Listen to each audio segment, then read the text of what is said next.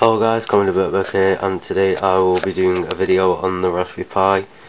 Uh, this is just a video on uh, what it looks like and what specs it has and that, so uh, yeah, this is just my room here, just all this rubbish and all that. And uh, here's the packaging, so uh, I've don't I've not opened it yet, so I'm just trying to get that off. What the? Oh yeah, I peeled that off. That's about it. So this is what packaging should come in. It's like it's got your address in it on. So clear that. So it comes with uh, your details on your order and the shipping and all that rubbish, and then you get the actual Raspberry Pi box Mine's a Model B 500 gig 512 megabyte RAM. I meant to say uh, and just the getting started thing on the box so let's open it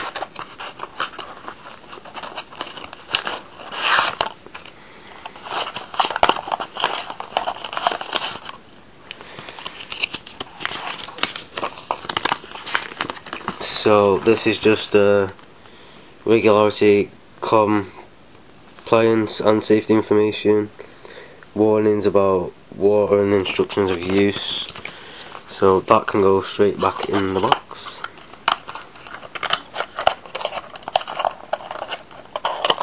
Over there. And let's get onto the Raspberry Pi. Uh, I'll just clear everything off here.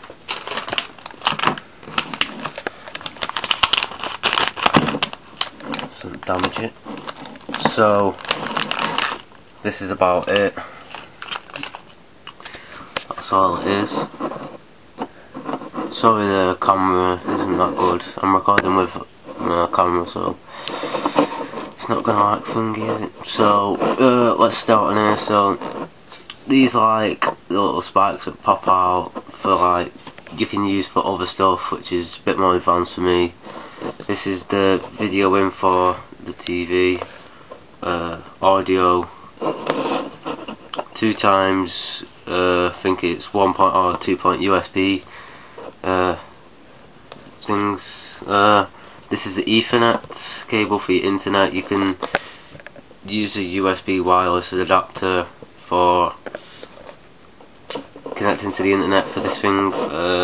HDMI uh, for picture display uh, that's your power supply uh, you will need just get it from over here. One of these. To plug into it. Let me just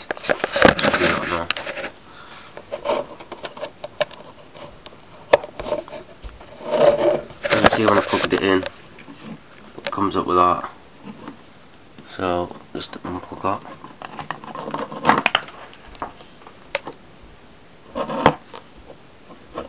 and then uh, I don't know what that is but then underneath on the back you've got the SD card slot which you need guys. So